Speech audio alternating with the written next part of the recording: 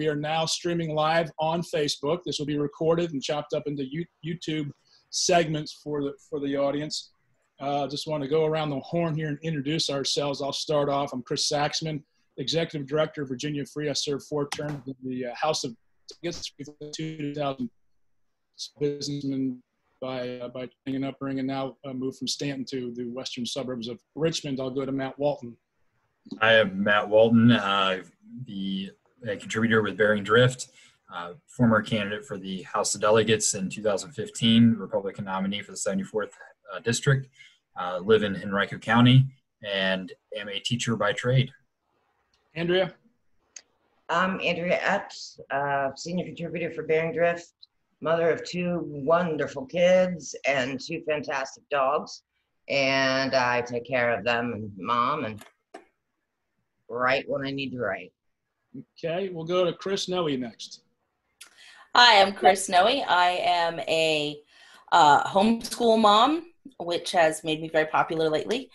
Um, I've been homeschooling for 13 years and involved in local politics for about 20. And um, I am a writer on Bearing Drift. Okay, DJ McGuire. Uh, DJ McGuire, senior contributor to Bearing Drift, uh, former Republican nominee for local office in Spotsylvania, but now I call myself the conservative feather of the Democratic Party. Brian Schoeneman. Hi, everybody. Brian Schoeneman. I am the uh, editor in chief emeritus of Bearing Drift. I am a former uh, House of Delegates candidate as well, former uh, local candidate in Fairfax County, I was the chief elections administrator in Fairfax for two years. I also served in the Bush administration, and I am currently the political and legislative director for the Seafarers Union of North America. And Merle Russ. Hi, I'm Merle Russ. I'm senior contributor with Bearing Drift, where I focus on national security and defense issues. I'm a 25-year uh, veteran of the United States Army, also a veteran of the defense industry. Now I'm a small businessman and a wine grower in Loudoun County. All right. That's us, Dr. Cameron Webb, the candidate. Look at that smile. He's got that candidate's glow, doesn't he? Yeah. He's, he does. He's got. They, he knows what he's doing. He's got it. They it's all not the candidate's glow. No, it's, that, not all. Not it's all. It's the ring light. It's, that's what I'm talking things. about. That's what I need. I need one of those. He's, he's got that Christmas morning every day look about him, doesn't he? It does. Yeah. All right, Dr. Webb, go and introduce yourself. Give us a little bio, and we'll start asking some questions. Thanks. Will do. But before I jump in, DJ McGuire, you said you're a Spotsy guy. I, am from Spotsy. Uh, grew up right off of Route 3 in Catharpin, so just down the road from Orange County. But where are you in the county? Uh, well, I was uh, all the way on the other end of the county, down by uh, where uh, Tidewater Trail almost hits the Caroline County line. Uh, I'm down in Hampton Roads now, but I was up there for about 10 years.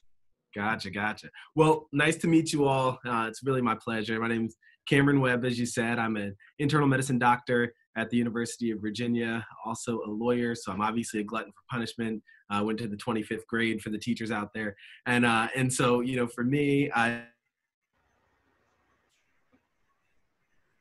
list, which means that these last four months I've been working on the COVID unit, taking care of, of coronavirus patients as well. Um, and I'm also the director of health policy and equity at the UVA School of Medicine, which is a role that I, I really love. I love working with students and teaching them about our incredibly broken and fractured healthcare system and ways that we can improve it. And part of my insight into that came from working uh, in the White House. I worked from 2016, 2017 in the White House as a White House fellow. Um, first six months on the White House healthcare team for President Obama, last six months on the Domestic Policy Council healthcare team for President Trump really uh, you know bridging those two very different administrations. I learned a ton about where we have some commonalities in this conversation and where we can really move forward thoughtfully. And so that's a big part of what i bring with me into this space. Um, a lot of people ask me you know you got a perfectly reasonable life. Why would you ruin it by going into politics? And i think that for me uh, uh, so much of it has to do with just this notion of service. I'm, I'm in the service professions having for a while but I just recognize we've got a healthcare system that's, you know, a fifth of our economy and it's not working efficiently. And I think that there are a lot of things that we can do to ensure access, but also to unlock the potential of, of what our system can and should be. And, and so I'm excited to, to have those conversations, to have them in a thoughtful way and bring my experience to bear in all of that. And then, you know, of course, a global health pandemic just came and sat down in the middle of my campaign. And so uh, we've got that dynamic too. And I want to be helpful in, in that response. And so I'm just excited to be with you all today and, and uh, get into the whitewater with you.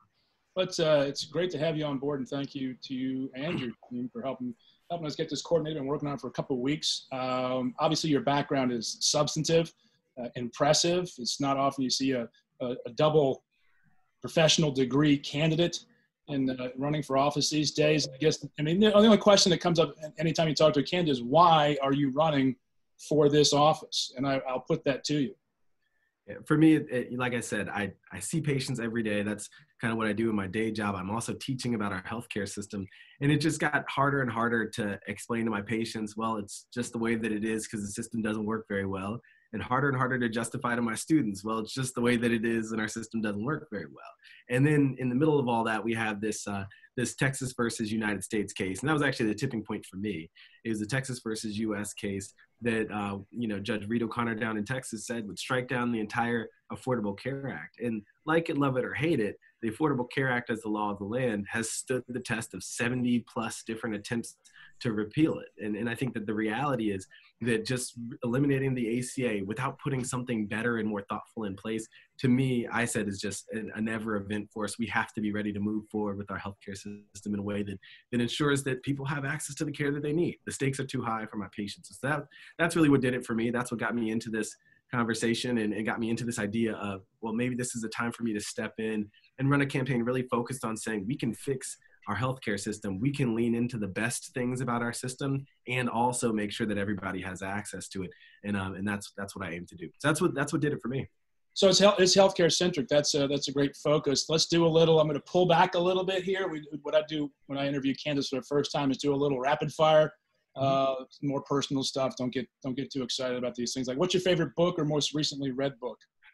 Oh man, uh, so the book that I'm reading right now is called Fair Market. It's called Free Market Fairness, uh, and I think it's just kind of existing at that intersection between our free market and really un- unlocking the potential of a free market that's also moving us toward a, a more, um, you know, society that's more equitable in terms of opportunities for success. How we can leverage the market to achieve that. So, so that's what I'm currently reading. Um, I'm a nerd. I like getting into the philosophy kind of stuff, but um, but that's what's on my bookshelf right now.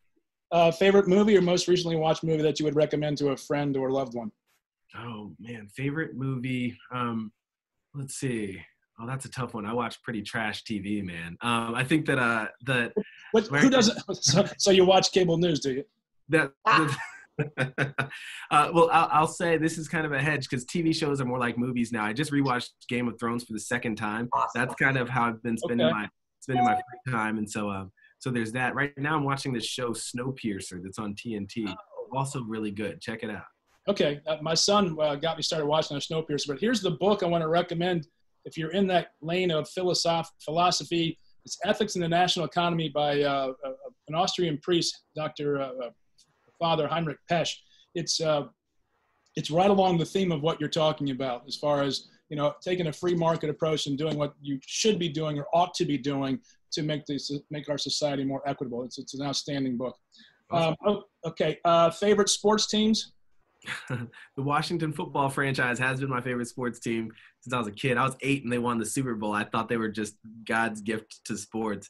Uh, and then I've been suffering with the rest of, of the Washington fans since then. I, for one, I'm glad they're changing the name. It's just an unnecessary distraction. Now we can move forward. And plus, Dan Snyder's done everything wrong uh, for the last, uh, I don't know how many years. So might as well start getting something right. All right. Uh, baseball, basketball, any other uh, pro teams you follow or college teams in particular? Yeah, in college, I've always been a North Carolina Tar Heels fan, which is ironic because I'm a UVA guy. Um, but again, I think I'm I was I was really shaped by sports in the early '90s, and so there was you know the teams with Vince Carter and Antawn Jamison and Eric Montross. I, I was just I was enamored. So I'm a I'm a Tar Heels fan. Can't help it. Um, and college sports are my preference. I love pro basketball, but I think there's nothing like March Madness. I mean, those kids leave it all out on the floor, and I, I love watching it. So I was sad to miss it this year. And plus, you you dropped you there another year, so so I'll take it. okay, well you you struck out on all of those. You didn't do well at all. I'm just going to be upfront with you. oh, come on. It's just you know, this, this, kind of a disturbing answer. I go to UVA, but I cheer for UNC. I mean, that's was it, maybe you're the, maybe you're the perfect Democrat. Chris, at least he didn't say he he votes for he, he roots for Virginia Tech, so he, he got at least hey that now. part of it okay. Hey now, out now. Might, no, no. Look, look, he might be my wife's from Appomattox, and and every time we talk about UVA and Appomattox, they're like, mm, "We're Tech fans around here." So that that's one thing. And listen, I was a UNC fan before I was a UVA alum, and so I I'm loyal. That's all it is. So you got to stick. You're killing me, Doc. You're, Look, you're you killing me, Dr. The, Webb, as a NC State alumni. Oh, you are not, DJ. All right, you could be the perfect Democrat to go to the to the to Congress for all these Republicans on here because you know if you're going to be that loyal to the Democrats, I'm just saying, you know. Well, listen. Working in the Trump White House, just saying. Listen, what what I know is that that's that's sports loyalty. That's an important thing. I think the loyalty I'm talking about here is to the people of this district, and I think you got to recognize this district spans a lot of different perspectives. Yes, it does. It's a very diverse district. Now let's let's just follow up here briefly on sports because it is so topical. It's not like the Redskins, uh, the former uh, team known as the Redskins, are not in the news. Do you have a particular name that you prefer that have been mentioned so far? I like senators. Actually, Carter and I were talking about this yesterday because he's also a big Washington fan, and and uh, I, I, like the idea of, of the senators. I think I like what they did with the branding with the Washington Nationals. It is a big part of that DC identity. Washington Capitals. You know, there's a lot of enthusiasm behind that team. So stick with what's working. Uh, I hate what they did with the Washington Wizards. Uh, that that just never worked for me. So pick a name that has something to do with the character of the area. Uh, that was yeah, Andrea. Just, it's funny. My my daughter is a half Indian, literally, and she last time she shared her views on the whole Redskins thing. She was actually angry that they were changing the name. Hmm. So just Good perspective. All right, DJ. Thanks for joining us, DJ. Appreciate that. Um, yeah, ap- apologies all. I actually had a plumber come early. Oh, that's why you put a mask on. I thought you were being a smartass. No. pandemic having here. Let's just jump into the issues. You you mentioned healthcare, and then I'm going to go to Andrea for an environmental question. But on healthcare, since that was your topic going into this thing, you said early on, you know, keep the things that are working. What do you see that is working in our healthcare system, Dr. Cameron Webb? I, well, I have to speak on behalf of my colleagues. I think we have an incredible healthcare workforce. We have incredible technologies. We have a system that literally, you know, you can get a cure, you can get the best treatment in the world to so many conditions here in the United States. The challenge is that not everybody can get access to those things. And so the way for us to make sure that people can get access to the care that they need, that's the conversation we need to be having is how to get get that access to, to as many folks as possible. I mean, the reality is that people's health outcomes are so dictated by often where they live and how much they have. And so at a fundamental level, if we want to have a thriving society, we need to have thriving access to education and thriving access to healthcare. We know that to be true. And so, um, so yeah, I think where I, where I start is I want everybody to have access to the care that they need, and I also want everybody to. So that's one of the key values. But I also want people to be able to choose, uh, choose where they get their care and how they get their care. And I think that's another key value. And and threading that needle, I think, is where we need to be at this moment. Okay, Andrea, I'm going to jump over to Brian. He has a question on COVID, and then we'll go back to Andrea. I'm going to keep them consistent here in topics. Well, I, I, honestly, I think the, the one big question that I have, and it's this is a generic question that I've been asking everybody that's campaigning right now, with COVID nineteen and and the way that that that has changed how we do business with each other. I mean, normally we wouldn't be on uh, on a show like this. Uh, you know, we'd be talking to you in person or something like that. Um, how has that impacted your campaigning? How are you reaching out to voters now? How do you get your message across when you can't go out and do stuff like go knock on their door and go talk to them? Yeah, I mean we've got to we've got to do this real 21st century campaigning. So for us, it's using spaces like this, leaning into Facebook. We have I have a weekly Facebook Live event that's a COVID update um, that in no way is partisan, and then the whole nature of it is just getting real factual information out to people. We have thousands of folks who watch this every single Monday night at 7 p.m. And so yes, reaching folks on the various platforms, Facebook, Instagram, Twitter, YouTube, that's a start but I think really it's just being creative about the way that we connect person to person. Um, for us, reaching out to a range of different groups of individuals, you know, certainly trying to find teachers, uh, law enforcement officials, just really connecting with people exactly where they are um, and starting to have those conversations. It was one thing in a primary, right? There are Democratic committees all over the district. Uh, I think it's a different thing now when we're getting into this conversation of there's a large number of either independent or undifferentiated individuals. There are a lot of conservatives here in the district who we want to make sure we're having that conversation with so they know who I am, what I'm about, and how I would aim to represent this district. And so that's the work that we're doing. It's just working hard to find people, meet them where they are. I expect that, you know, the way that COVID is looking these days, we'll be doing this through the fall. You know, we'll be having these conversations in virtual spaces. So so we've uh, we've gotten pretty good at it over the last few months. Expect to to keep keep banging. Okay, Andrea, you have a question on the environment. Well, I have I I have a piggyback off of on the COVID real very quickly. Um, I have a friend of mine that's a virologist told me at the beginning of this that if we didn't handle correctly, that going into the next, which would be this current flu season, that that one protein changes with a regular flu, and you end up with an R naught of four. And the average person doesn't understand what that means. How, how do you think the best way is to get politics out of COVID so that med- so, you know, so that the scientists and the med- you know, med- medical end of it can actually start, you know, doing the work. Um, yeah. You're, you're, absolutely right. I mean, I think that some of it is is just we have to depoliticize it. I mean, every aspect of this virus has been politicized, and so I think now that we're seeing a surge in cases, it's not about who's right, it's not about who's wrong. It's about how we can get past this virus to get our economy rolling again. And we know that the best way to do that is to stop the new transmission of virus. I love the fact that you raised the flu season because I was just on a call with uh, you know a bunch of school board members all across the district have been reaching out to me and they're like, so what should we be doing? Uh, you know, want to get our kids in school. Every I want to get my kids back in school. Trust me. And so so it's how do we you've got to stick to the basics the basics we've been talking about for a long time which is prevent transmission of this virus. Absolutely you know wear a mask in public spaces. If you're feeling sick stay home you know make sure that you're washing your hands regularly. Those basics of preventing transmission there's nothing political about that. That's just normal good science.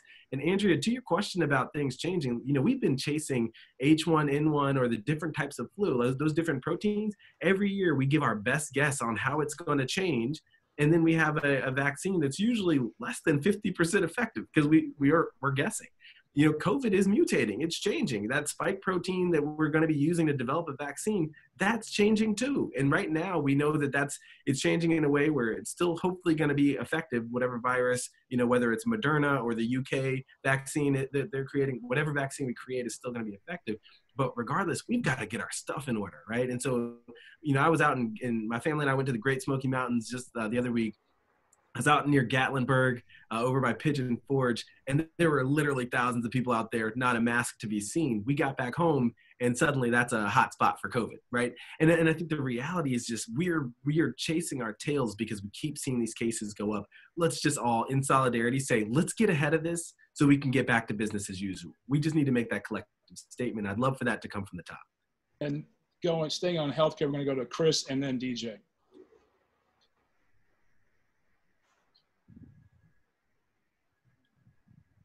There we go. Thank you. Um, I didn't want y'all to have to hear my dogs, but then eventually it just turned into me. Um, so Andrea sort of covered my uh, the first part of what I was going to ask about depoliticizing this, but then sort of as you're talking about that this is going to be with us for a while, we make sure that kids have what they need for computers, internet access, um, adults to oversee if we're going to be stuck in this distance learning um, situation, and do these changes actually offer us a way to look at uh, an opportunity to look at education differently than we have in the past. And you, you answered the you answered the question right then and there. That's what we need to be doing. You know, that idea of broadband access is critical infrastructure. You know, in Madison County and Buckingham County, right near near me, kids have been going to McDonald's for years just to have Wi-Fi access. Right. The, the reality is, it's just highlighting the fact and this isn't this isn't partisan. Everybody believes that all of our kids should have access to broadband. Everybody believes that we should be closing that digital divide because it's so important for everybody to have access to the economy of today not the, just the economy of the future. And so yes you're absolutely right. We have to focus on building that infrastructure. If this speeds us to doing that that's good. You know some of the counties some of the more rural counties have been talking about putting in these these kind of uh you know um, these t- essentially towers for, for Wi-Fi access that are portable and using that. And we're going to try to amplify that by kid giving kids their own hotspots and some of the the you know uh, youth serving organizations that I've, I've been working with and talking to. And these are all workarounds. The, the fact of the matter is we got to get broadband available and into every household to make that possible. And again, when we talk about the role of the market, everybody wants to have access to this. Everybody needs to have access to this. You know, I'm in a district with 18,000 farmers, 11,000 farms, and yet and still there's still almost over a quarter of them who don't have Wi-Fi access. And so, how can you be effective in your business if you're not even able to get in touch with folks uh, using the internet? I think it's it's a it's a powerful and important role, not just in education, but I think right now we're highlighting it in education in a major way. Um, and and you got to you have to recognize this crisis. It's highlighting these issues, these inequities, and uh, and I think it's it's important for us to lean into and say, hey, let's let's fix this because in rural communities, that's just how we make sure that every every kid has a chance to succeed and, and live out the life of their dreams. That's that American dream. So yeah, DJ. You mentioned um, one of the fundamental things about what you would like to see in healthcare is to make sure that consumers have the ability to choose where they go to get their care. Uh, how much do you think certificate of public need regimes like the one in Virginia and North Carolina get in the way of that? And what do you think the federal government could do to make them, well, to frankly make them more competitive and less restrictive? Yeah, you saw my facial expression when you said certificates of need. That, that's one of those things that that we've been battling against for a while. I think you know there's the what compels the notion of need in terms of healthcare is you know the needs of the patients the needs of people. And we're seeing that kind of blowing through that reality with covid. All the bed shortages that we've had and we're seeing that in, in so many places. You think you know what the need is but just by limiting the growth of spaces you're actually uh, you know cutting off your nose to spite your face. You're, you're saying hey we're not ha- the place that have the capacity to build and grow and have a you know healthcare system they're not necessarily always having the opportunity to create that. Um, i think that there you know we do need to design our healthcare system in a way that looks at not just the entire commonwealth but also the entire country. There are a lot of rural counties that have hospitals that are closing hospitals that aren't able to thrive especially through this pandemic especially when we don't have elective surgeries. So there's a lot about the dynamic in our healthcare system that we have to address to make sure that at, a most basic level folks have access. That idea of need, though, that's played out in terms of CAT scanners and MRIs, and that's actually part of a competitive advantage, right? That's part of places saying, hey, we have access to these technologies. And, and a quick story is I was in Spain with my family on a vacation the other uh, last year. My sister-in-law got sick and spent a week in the hospital in Spain. And as a doctor, I knew she needed an MRI for this infection in her eye. I kept telling the doctors, I was like, she needs an MRI. And they were like, well, we don't have an MRI. So she's going to get a CAT scan.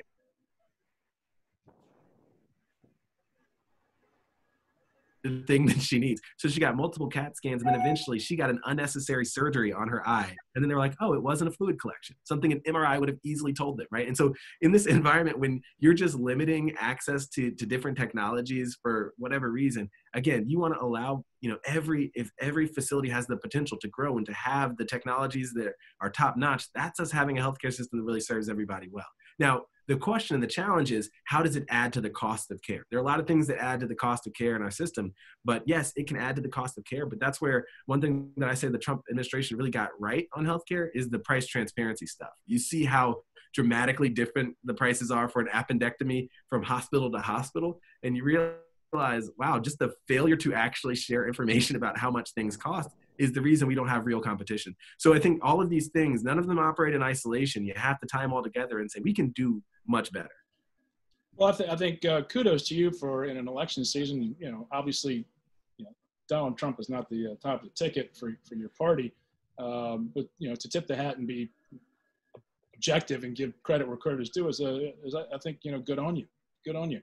Uh, let's uh, let's jump back to uh, let's let's go to we can do a little more political stuff now. Let's, let's moral.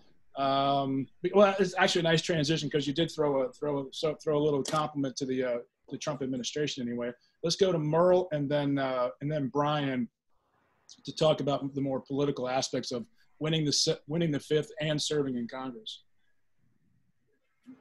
Now smile when we say that, Dr. Webb, because there it is. I was, I was waiting for Merle. I was waiting for Merle. okay. Thanks, Chris. Dr. Webb, thanks for being with us today. Uh, if you win in a usually solid Republican district in the fifth, uh, you'll have a target on your back, let's be honest. Uh, just very similar to what Tom Perriello had.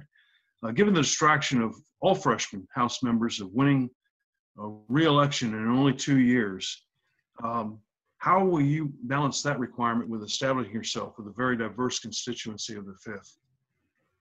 I, you know, I'm a I'm a consensus builder by nature. I always tell people I'm the third of six kids. I never walk into a room thinking it's all about me. I'm always bridging different perspectives. Even as a physician, I'm always my goal is to walk in to groups, to rooms, to spaces and ask people where it hurts and then listen for an answer and find a path forward together. I think that what, what's exciting to me about this district, what's exciting to me about this opportunity is I'm not doing this with, with the next election season in mind. Maybe that's probably the problem with our with our politics. You know, for me, I'm focusing on what can I do to be of service right now. I've got a perfectly good job. I, I do I serve my community in a perfectly reasonable way, and I'm passionate about doing this uh, you know, running for Congress is just another way for me to serve my community at a time when we we sorely need it. And if the people of the district say, "Hey, job well done, keep going," then I'll keep going. And if they say, "Hey, you you served your purpose, you did what we wanted you to do, you listened to us, and you you acted, but now we want somebody else," well, then that's the will of the people. I'm not going to get too bent out of shape about that. But at the end of the and again, it's not politics for politics' sake. It's about being in a space in a moment in time to serve and to serve well. Um, now, all that said, I think that the reality uh, of this district isn't that it's you know bright red as my opponent has suggested, uh, which I think is incredibly flawed, and it's certainly not deep blue. It is a spectrum across the political dynamic, and that's why it's great for me to just step into different spaces and you heard, you know, my my student. A quick story: my students at UVA, um, they got really up in arms my first year teaching when I brought somebody from the Trump Domestic Policy Council into my class to speak, and they were like, "How dare you bring her here?" And uh, and I was like, because this is what civil discourse is supposed to look like. And they were like, "You guys disagree on a lot of things, but you like each other." And I said, that's what civil discourse is supposed to look like, right? That's how we move forward as a society. And, and that's what I want to model. That's what I want to be a part of here. And, uh, and I, I believe that it's going to work. I believe that it's the kind of temperament, the kind of ideology that actually sticks, one that tends to listen to people around them and not just tell everybody you have to think exactly how I think to be with me. Um, I'm, I, I used to do a lot of debating. I was on the moot court team in law school. I love to talk through the issues, talk through the ideas. Um, and, and if you disagree with me, that's cool. We can still do it in a civil way. But, um, but I'm not focused on reelection. That's not, this isn't a path to something for me. This is a moment to step in and serve. Good for you. Well, um, I've just got a text here from the New York Times. You're not going to be published ever. So I'm going to go follow up on the politics to uh, to Brian Schoeneman, and then we'll uh, we'll jump to Matt Walton for a question on education. So, all right, I don't want to jump ahead here and assume that you're going to win. Uh, you can do that. That's fine. But I mean, I'll tell. Hey, look, you know, as an outside observer, and you know, I, I'm like you. I am a I am a pragmatist and a, and a, and a consensus builder. Uh, and I am a Republican, but I'm the last Republican labor guy left in D.C. apparently. So I, I straddle both sides of the aisle quite a bit. Um, I, I, think you got a pretty good shot in the fifth. What what happens in November? What do you think your biggest challenge is going to be, assuming that you get elected? What do you think your biggest challenge is going to be in when you get to the Congress, when you get to the House? Well, I think there there's a there's establishment in both sides, both both sides of the aisle that uh, that wants to say now that we've got the numbers, let's do exactly what we want to do. Um, and I think that the problem there is that for folks who go in uh, very decidedly to be a consensus builder, um, you know, it almost feels like you're you're a person without a without a, home sometimes. And I think the the reality is what I always say is my home is the fifth congressional district. It's the people who are here. As long as they're happy with the job I'm doing, I'm fine. I had an, an incredibly progressive Democrat um, from from the Northeast who gave me a call the other day, and we had a really interesting conversation about our differences in policy. And what, what the stuff that you don't see play out in the media is they were like, you know what? But you're serving your district well uh, by representing that perspective, and that's really what matters. I know that within my party, at least, uh, and this is where I have to give a nod to Congressman Riggleman. Within my party, at least, the fact that I have a difference of opinion is one area where they're just like, well, that's cool. Maybe that's what it's like to be a Democrat in VA 05 you know, for Congressman Riggleman, this is somebody who was decidedly a moderate. That's how he held himself out. And he tried to hold his ground on that. And he got railroaded in a manufactured convention just for doing that. Like that's that's no politics that I think a lot of a lot of Virginians want to be a part of. I think the fact that you don't have this strict ideology that meets exactly what I say, and therefore we have to engineer a process to get rid of you, that's the problem. So I think that's not going to happen in my party. They're not going to they're not going to primary me because I'm not the most progressive person in the world. And I think that gives us a real shot at building consensus, at having a district that's moving in a direction. Well, never might, say never. I'm sure Eliot Engel never thought he was going to get primary either. Well, they might, hey, they, might, they, might, not successfully primary you, but I, Hey, I, I've been I've been in my local Democratic Party for three and a half years. They have no one has even considered throwing me out. So there is that.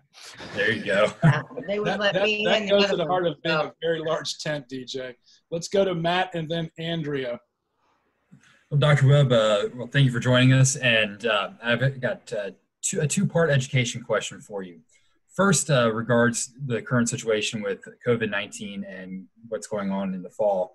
Um, I'm a teacher, and there are plenty of teachers out there, and also parents uh, that are concerned as far as what education uh, should look like uh, in this current climate. Uh, there's discussions going across all kinds of different school boards at, uh, here in Virginia, different recommendations. Uh, some have decided, some have not decided. From a medical standpoint and also a policy standpoint, what would you best advise uh, local school boards to do regarding um, school in the fall, policies, procedures for teachers to follow? And what would you say to, to, to them? And then um, my next question, I'll follow up later with um, career and technical education. Sure. I, the, the, what I'd say is establish really clear metrics. Like, let's take the politics out of this. Let's say, what numbers are we going to go by to say this is what we need to see in order to be open physically in the fall. This is when we see numbers changing, an increase in the seven day positivity rate, or when we see something that tells us, hey, we need to pull back, then how do we do that? How are we going to treat positive cases? How are we going to design the school so that it is a, actually a safe space? Because there are a lot of things we just don't know about this virus and its transmissibility through children. And we don't need to sit here and navel gaze and, and theorize about what that looks like. What we need to do is be as objective as possible. And, and this isn't just for, for students and for parents, it's for teachers. Teachers are the ones who I'm seeing who are saying, I don't feel safe right now. I don't feel like we've got a good plan in place. I would like us to do something more like what I'm seeing from my peers in some different school districts. So I think having real metrics in place, that's the first thing.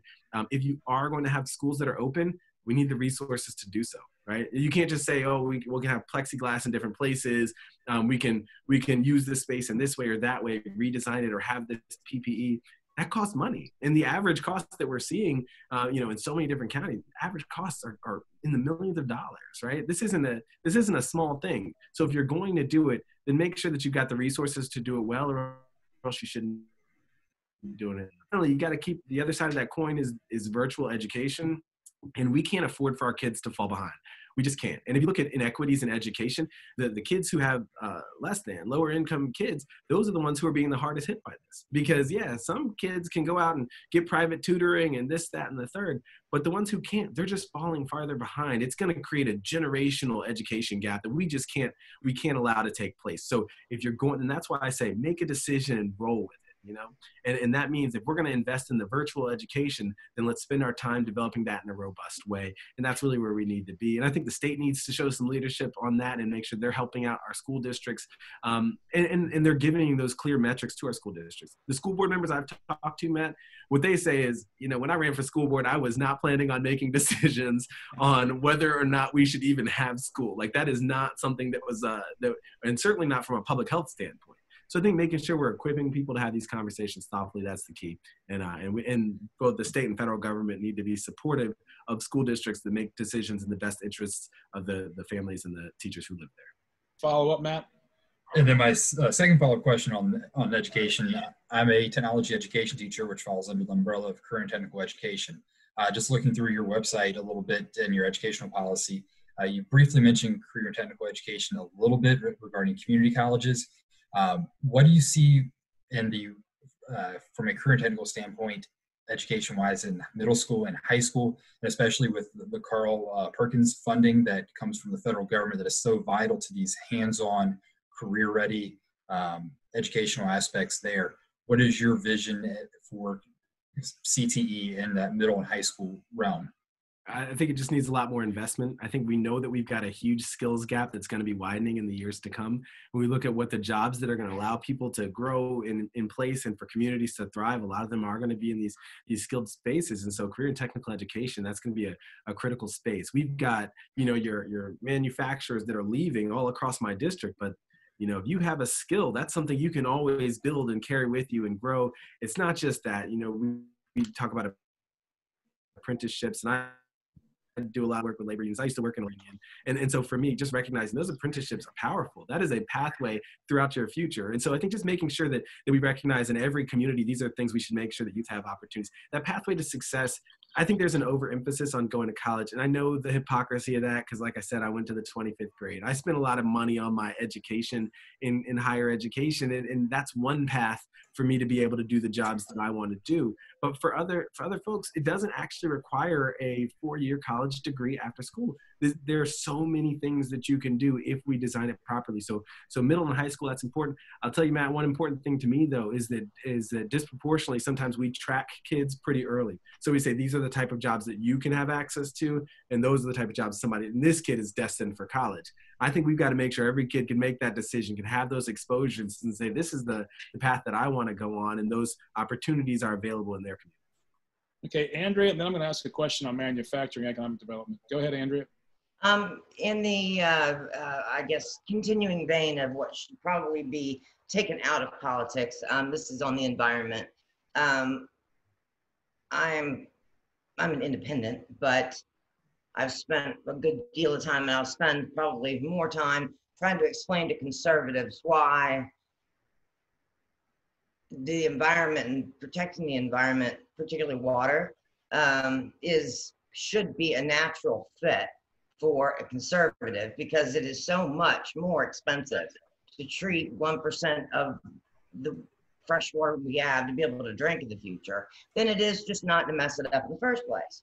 So I was just wondering if if you if you agreed as far as explaining to the voters and your fellow congressman, should you be elected, that there are some environmental aspects that really aren't partisan.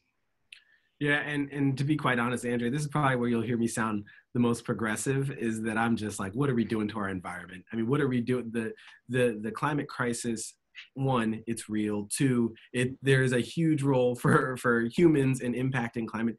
Three, all is not lost. If we work now to address our climate crisis we're gonna you know my, my son is five years old you know the the world that he's going to be an adult in is dramatically going to be impacted by the decisions we make today. And so that's why I say, you show me the science on how we can get to a 45% reduction in carbon emissions by 2030, and I'll say that's the policy we need to follow. You show me the science on how we get to net zero by 2050, because we do need to address climate change. That is a critical necessity for our survival as humans. In terms of the conservationist argument, you know, I, I think similar to, to, you know, we just had this big victory here um, with the Atlantic Coast Pipeline being canceled here in, in my district. And I say it's a big victory. It's a big victory with a big coalition.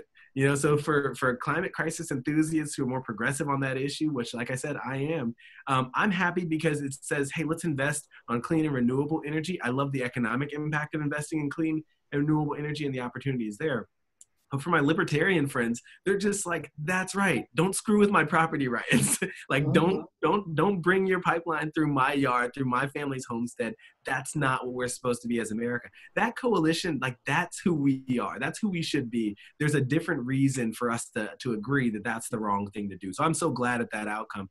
But um, but yeah, Andrew, I think I think that um I'll, I'll be honest. I, I gave a, a, nod to President Trump on on price transparency in healthcare. I'll say that I'm I'm disgusted with how anti-science he is. There's no reason to consistently refute facts and objective information. You have to at least give a nod to the fact that we have more than enough data to tell us to stop doing certain things, and so just stop doing. Okay, so uh, you mentioned manufacturing leaving the fifth congressional district. You also celebrate the uh, conclusion of the Atlantic Coast Pipeline and safe to assume that the gas is just going to find another route to the marketplace, probably out through Cove Point and an LNG import facility for the Navy uh, facilities in Norfolk to get that gas into the to the to that region. How do you what do you propose for economic development in the fifth congressional district if you're if you're going to oppose any kind of fossil fuel development for manufacturing facilities? You sound you kind of like lamented the fact that manufacturing is leaving. What are you going to do to uh, uh, in, bring in manufacturing to the fifth? There are huge manufacturing opportunities in clean and renewable energy. Huge opportunities, and that's why, like I said, you, you know, uh, even even with with pipelines, with solar and hydro, there are huge opportunities. And I think that you know the labor unions. You know, I'm I'm endorsed by the Virginia Carpenters, the plumbers. Like I'm more people, right? And the reality is, know that there are opportunities for them in manufacturing, in clean and renewable energy. The investment in that energy economy of the future is a huge job creator. It's an industry creator. And that's where it's just like we have huge opportunities here in the fifth. Halifax County has multiple solar fields. Uh, you know, D- for for DJ and I, you're talking about Spotsy. Spotsylvania has the largest solar field on the East Coast, and the economic impact of having that land that was just sitting there now creating revenue, now creating taxes for the county. That's huge. And so, listen, there are huge opportunities in clean and renewable energy. We just have to have the forethought to invest in the energy economy of the future, not the energy economy of yesterday. So follow up on that. What the what is going to make the fifth congressional district stand out to attract manufacturing in this sector? And I'm trying to understand what do you mean by manufacturing in clean energy uh, for that field? I mean, are you talking about the the, uh, the manufacturing of the of the solar panels? Are you talking about the manufacturing of the of the wind turbines? Um, what what what what do you mean, and how do you get it to the fifth?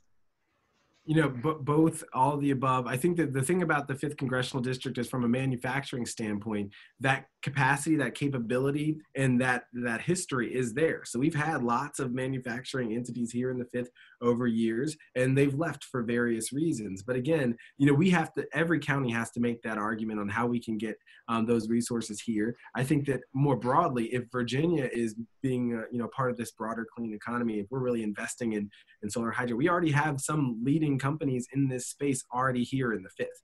Uh, and so I think there's there's some of that that we already have a presence. It's just a matter of propagating it. But um, but yeah, I mean, you just think about from a from the standpoint of energy creation, energy storage, and then um, the way that energy is ultimately you know transmitted throughout and, and, implemented in the grid. That's all. Those are all opportunities from a manufacturing standpoint. It's all opportunities from an industry standpoint, and there's also from an individual standpoint and individual rights, the ability to create and store your own energy. That's a huge thing for people here in the district, and that's something that people get really excited about. So so yes, I mean by by every account that I've heard, and this is an area look, I'll, I'll, tell you straight up the areas that I don't have the the deepest expertise but everything that i've learned everything that i've seen about about you know bringing more clean and renewables here to virginia here to to the us uh, i think it benefits us well. And we just like we have to make a case for any industry to come into our district we've got a lot of land we've got a lot of people who know how to work we've got a lot of folks who've got a manufacturing background and this is going to be a right space for us to to do a lot of that work here in the fifth. And a lot of final, final on this if i can um, I can take a look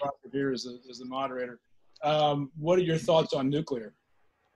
I mean, nuclear is cleaner than some others, but again, that's not necessarily the direction I think we should be going. I think for me, solar, hydro, and wind are going to be the, the energy of the future. I think nuclear also, you know, if you're talking from an environmental justice or environmental, like that, that environmental conversation, um, the the waste, the concerns with nuclear far outweigh the concerns we have with other forms of energy. And so, from my standpoint, it's, it's really important for us. If we're designing truly the energy infrastructure of tomorrow, let's really move away. Yes, it's efficient. Nuclear is rather efficient, but it's not going to be as uh, as clean and as safe for our environment. Which is the other side of that equation: is creating energy in a way that doesn't damage our environment.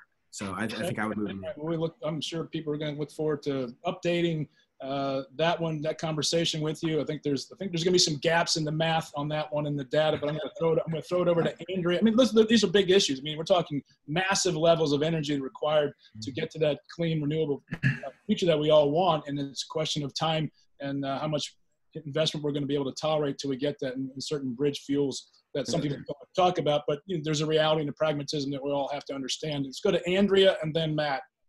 Just a quick follow up. New York City, they take the garbage in New York City, and they have a excuse me, they have a facility that actually takes the uh, the garbage from Manhattan and turns it into energy. I don't know how it works. I do know that it involves steam. Yeah. And so, you know, I imagine they burn it in such a way and they have a way to do it, but it, it it's it's very clean and it, and it also held, has the advantage of solving the problem of household garbage on a large scale being used to power homes. And everybody knows the closest to the source that you are, the better energy you're going to have. I mean, if you're going to have, look at solar, the manufacturing, there's all kinds of different components. If you can put those panels on houses and you can put those battery packs in an outbuilding on a lot, you're going to cut not only cut somebody's uh, uh, electric bill in half, if not more, but you'll actually have less of a strain on Dominion and more people putting into the grid rather than taking out. But the, the project in New York City is fascinating to me. It's because they use a household garbage to, to make energy. Okay, Matt, on redistricting. Dr. Webb, uh, the, the Virginia Democratic Party recently um, endorsed opposition to the proposed uh, bipartisan redistricting commission that uh, just went through the Virginia General Assembly. Um, many you know, people were hopeful that uh, they would actually support that. Um, your congressional district, the fifth, is actually uh, larger than six U.S. states uh, geographically. Uh, having run in a gerrymandered district, what are your thoughts on redistricting, and do you support the proposed bipartisan commission? Why or why not? And what do you think gerrymandering has done here in Virginia to uh, to affect the political climate? Well, what I'll say simply is that I support the idea of fair redistricting, and so uh, I think in terms of weighing the merits of the bipartisan commission versus you know anything that the Democratic Party may be suggesting, um, you know, I'm, I'm, I do not have a strong opinion right now. I know the district that I'm running in. Uh, what I will say is that that notion of fair redistricting, that notion of congressional districts that are fair and compact, that kind of meet that constitutional definition, and we're representing interests of people who have, in some way, shape, or form, you know, uh, similarly uh, situated interests. That's important to me. I, I do think the fifth is going to change uh, geographically uh, in the next couple of years, and I think that's probably right. I always talk about just the the challenge of of connecting the interests of folks in Fauquier County that are very far from uh, from you know right here in in Charlottesville where I'm sitting, very far from Danville and Brunswick. This is just by its very design. Um, it's unfortunate, and I think that it's unfortunate for for some of the residents here in the district to to have the prospect of a representative who can be four hours away in a in a state like Virginia where that doesn't need to be the case. So I think that the emphasis has to be on fair redistricting. I think that they always say in politics to the victor go the spoils. And i know that in in 2011 this district was redesigned to make it easier for a republican. And i understand the allure of making it easier for a democrat but i think that we have to be better than than kind of what other folks have done in the past and we have to redistrict this uh, the entire commonwealth in a way that's fair in a way that people say hey th- these districts now make a lot more sense. Do you support the constitutional amendment that will be on the ballot in november? Yes or no? Which one regarding the redistricting reform uh, commission and taking it out of the hands of the General Assembly? I have to do a little bit more digging on that. I think I understand the value of it. Um, and I think that uh, there was also the conversation about the backup of the Virginia Supreme Court uh, also being able to weigh in. But I think for me, um, yeah, I don't think I'm prepared to answer that yes or no quite yet. Okay. I'd appreciate it if you got back to me on that. sure, we'll do. DJ on uh, foreign policy. Yes, I was just curious as to what your foreign policy priorities would be uh, if uh, when for your for your time in in Congress. What what are the what are the you know top three to five things that you would be focusing on? I think it's hard to talk foreign policy without talking about holding China accountable. I think that uh, in the conversation of our our current pandemic, um, you know, there's just a lack of transparency with China that I think is important. Um, but I think that we can't necessarily do that singly through whether it's you know bilateral conversations. It has to be multilateral. We have to bring in kind of the um, the role and the impact of some of our partners all over the world to really put some pressure on China to be a better actor. And I think that's going to be an important thing for us to do. I think this this uh, conversation that President Trump's gotten into with uh, with Beijing has been has been problematic, and I think that's a that's going to be a, you know huge for us to bring other people into that conversation. Um, I think we we have to um, really shore up our, our relationship with Israel. I think that that from our standpoint, we have to make sure that we're supporting our, our best friend and ally in that region, in that part of the world, um, supporting them with their own security, but also being our eyes and ears in that region. And so I think that's a that's an important part of it in in, in maintaining that that relationship in a meaningful way. Um, so I think that's the other one. And then the final thing is uh, just being real. We, uh, we, you know, you can talk about national security, and, and COVID expo- exposed a huge gap in our national security when it comes to pandemic preparedness. And I think that investment in that preparedness is the key. I think that what President Trump did with, uh, you know, his his uh, lack of, in fact, removing the funding for the World Health Organization, that's actually not in our best interest. Eliminating some of that pandemic preparedness through some of the entities we had here within uh, the federal government, not in our best interest. We have to think more broadly, and and then just as a from a you know baseline philosophical standpoint, um, having our presence in over 150 countries right now physically may not be in our best interest. It may be more effective for us to have more of a diplomatic uh, relationship with so many of our countries. If we're talking about where we can address our you know 27 trillion dollar deficit and we have got 700 billion dollars of discretionary spending into defense how can we make sure that we're being really efficient with our presence whether it's diplomatic or military in places all around the world? And i think leaning into diplomacy it's an important time for us do a little bit more of that. Follow up on that, if I can, on foreign policy relative to China. I think it's going to be the number one issue in foreign policy because of the pandemic. Do you uh, do you blame China at all for their role in the uh, the, the COVID outbreak? I, I, certainly think they weren't they weren't very forthcoming with what they were seeing. And as a scientist, as a physician, um, we're we're getting a lot of new information about uh, the way the pandemic played out there in China early on. I think that um, with more transparency, we probably would have been able to prepare more effectively. And so I think there's no doubt that, that China wasn't particularly forthcoming with what was happening in Wuhan province. And, and, um, and I think that's problematic. I think the nature and, and the conversation around uh, the World Health Organizations um, being complicit in that. I, I, don't I don't know that I have enough information to know exactly how that that played out, but I do know that um, it's it's it's critical that any actor, any any um, you know state, any country, uh, their ability to share information on something that has global implications that's critical. I don't think China uh, you know did that effectively. I don't think they did that in a way that prepared the rest of the world. And uh, I'm glad to hear that they're doing much better with with um, with the virus these days. I hope that that's true. Again, who can trust the veracity of, of what reports we're getting out of China sometimes? But I do think that um, that I think it's pretty clear that they they weren't forthcoming on the front end, and that's hurt the rest of the world along the way. Well, should should should there be any kind of retaliation then because they weren't forthcoming? I mean, this is not just being on, not forthcoming on something. Yeah, this is this could end up costing quarter million American lives. Yeah, yeah. In, in terms of what retaliation looks like, I think we're going to have a lot of really um, difficult conversations on a global scale with how the world dealt with this pandemic. This is the global pandemic we've been talking about seeing for the last 30 years that and i think that because of that um, there there is going to be some some reckoning i think that um, you know the the role of some of our our larger entities like the world health organization like uh, like um, the UN, just to, in kind of speaking to uh, what China should or could have been doing in terms of economically, um, some kind of sanctions. I, am not sure what that would look like or what that could look like, but I think that you know ev- everything and anything has to be a part of the conversation. Um, but but I think it's clear from my from my standpoint, I think it's clear that China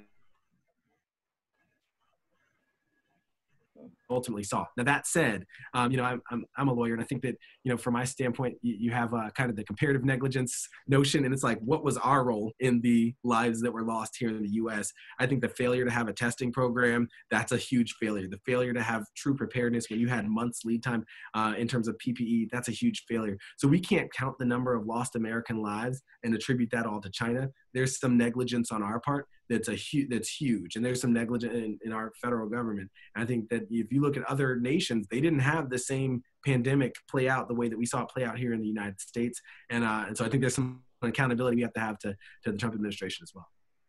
Okay, Dr. Cameron Webb, thanks for joining us. Very impressive candidate, especially in your first run. Uh, maybe that's why you're so impressive. You're not held back by any political stuff you've had to, that will come along with you. But you had a you had a knockout you had a knockout punch in your primary. I think you had 67 percent in a in a wow. four way primary, which is extremely wow. impressive, extremely impressive numbers. Uh, final thoughts from anyone on the panel as we close it out. We want to keep it to an hour and get things rolling here. I got a uh, question. Uh, go ahead, Andrea. You sure? Mm-hmm.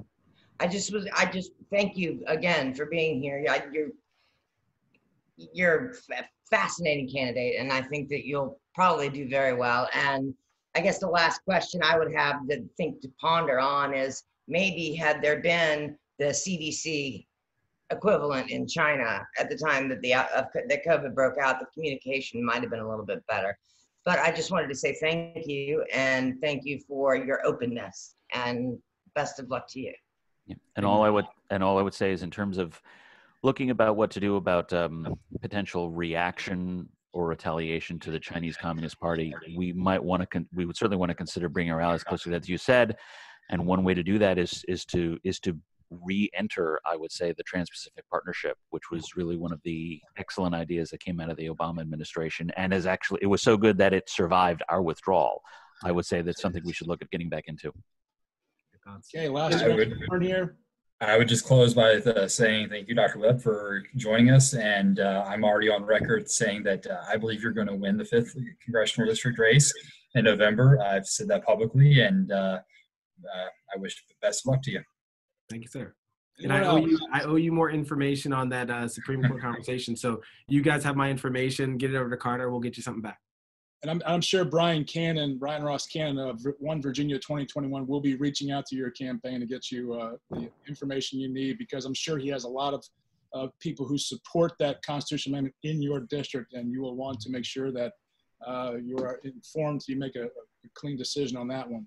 Yeah. That, will- that will be a, that will be one that goes down the, the wire because the fifth is going to be changed, I think, dramatically in the next round of redistricting. It's going to affect your your uh, your your uh, district going forward. Anybody else on a hot, hot Friday? Nothing? Dr. Cameron Webb, welcome aboard to Virginia Politics. We wish you the best. If we can be of any help to you, please don't uh, hesitate to call on us whatsoever. But I know you have a busy weekend coming up. Good luck on the campaign trail. We'll talk to you soon. Thanks Thank for you. And hey, keep information coming my way. I'm, I always take a learner's posture. I'd love to hear more of your perspective. So keep them coming my way. Look forward to the next time we get to connect. Look forward to it. That's a that's a great candidate right there. Yeah, yeah. I don't know if you know what you just asked for, but you'll get it. I mean, that's, this is this is an impressive this is an impressive candidate. I think is. um, win or lose, you've got a you've got a, a future in politics, my friend. Good Yeah. luck. Yeah. All right, y'all. Now, there's a there's a basketball team in Charlottesville you want to pay attention to. Get this get this Dean Smith and Roy Williams thing out of your head. Oh, Love my Wahoos. Love my I'm- Wahoos. do I'm- you? Do you? I'm staring in William and Mary right now.